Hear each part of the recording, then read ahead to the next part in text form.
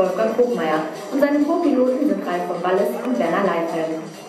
Bitte nehmen Sie nun Ihre Sitzplätze ein, klappen Sie Ihre Tische hoch und schnallen Sie sich an. Wir machen Sie nun mit unseren Sicherheitsvorkehrungen vertraut.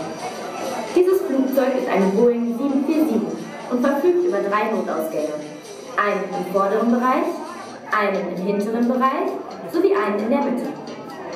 Die Rettungswesten befinden sich unter Ihren Stühlen und die Atemmasken über ihnen. Angenehmen Flug und einen schönen Urlaub.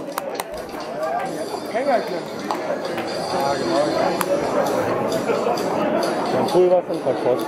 Ja, alles für heute. Kannst du mal jedem